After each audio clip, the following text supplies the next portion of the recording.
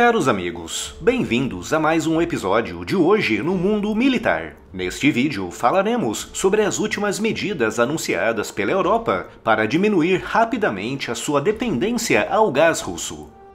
A Muvon cuida de todas as etapas do processo de registro de marcas, desde a busca prévia até o acompanhamento no INPI. Com mais de 700 clientes no último ano, a Muvon é reconhecida pelo seu atendimento e agilidade. O canal Hoje no Mundo Militar foi registrado pela Muvon. Invista em prevenção, registre a sua marca. Os links e os meios de contato estão aqui na descrição como consequência de uma política ambiental bastante abrangente que começou a ser implementada há mais de uma década. Muitos países europeus abandonaram quase por completo o emprego do carvão para a geração de eletricidade, com outros países indo ainda mais longe e começando a abolir o emprego da energia nuclear, decidindo focar-se no gás natural como um meio energético de transição até a adoção de meios 100% renováveis. O grande problema é que a produção europeia de gás natural, concentrado quase todo no Mar do Norte, é insuficiente para suprir toda aquela gigantesca demanda, com a solução óbvia encontrada pelos europeus sendo a aquisição do gás natural russo, já que a Rússia é o segundo maior produtor mundial de gás natural, atrás apenas dos Estados Unidos. Com o fim do carvão e com países abrindo mão da energia nuclear, o gás russo começou a ser adquirido em quantidades cada vez maiores, alcançando valores autenticamente astronômicos e deixando nações inteiras quase inteiramente dependentes dessa fonte.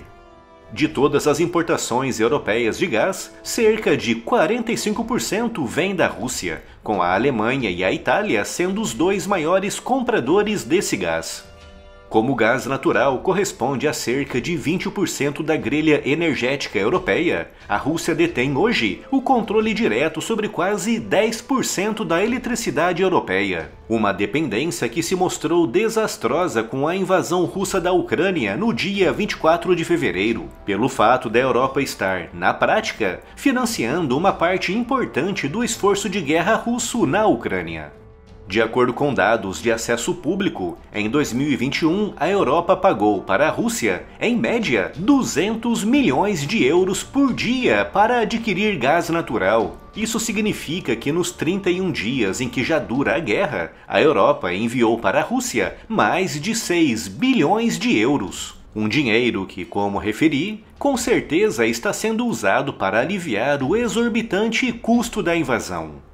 E é com o objetivo de diminuir essa dependência ao gás russo e a participação europeia no financiamento indireto da invasão da Ucrânia que alguns países europeus estão anunciando medidas importantes, como o acordo firmado há poucos dias entre a Alemanha e o Catar para a compra de gás liquefeito daquele país do Golfo, que é hoje o terceiro maior exportador desse importante produto, com os alemães anunciando que até junho desse ano pretendem cortar em 50% a quantidade de gás comprado dos russos, planejando chegar a um corte de 70% até o final do ano.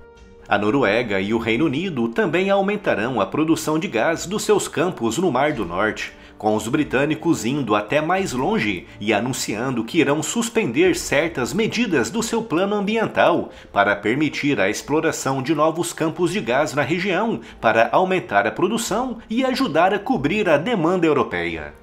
E hoje, dia 25 de março, os Estados Unidos e a União Europeia anunciaram um grande acordo para a venda de 15 bilhões de metros cúbicos de gás liquefeito norte-americano para a Europa. Uma venda que se realizará já agora em 2022, com a previsão de que essa quantidade suba para os 50 bilhões de metros cúbicos até 2023. Como referia em outros vídeos, os Estados Unidos são os maiores produtores de petróleo e de gás natural do mundo, produzindo, principalmente no Golfo do México e no Alasca, quase 30% mais petróleo do que a Arábia Saudita e quase 50% mais gás natural do que a Rússia. No entanto, como estão a milhares de quilômetros da Europa, esse gás só pode ser enviado sob a forma líquida, o que significa que, além de ser mais caro do que o gás russo, exige também a construção de infraestruturas que em alguns países europeus ainda não existe. Mas a Europa está mesmo empenhada em acabar com a sua dependência ao gás russo, com a Comissão Europeia informando que no máximo até 2024 querem cortar em até 90% a compra de gás com origem na Rússia. Um plano que ganhou uma motivação extra após o Putin anunciar que só venderá gás natural em rublos e não mais em dólar o que significa que se algum país, incluído na lista de adversários da Rússia, quiser comprar gás russo, terá primeiro que gastar uma quantia extra para comprar rublos, uma moeda cada vez mais desvalorizada no mundo.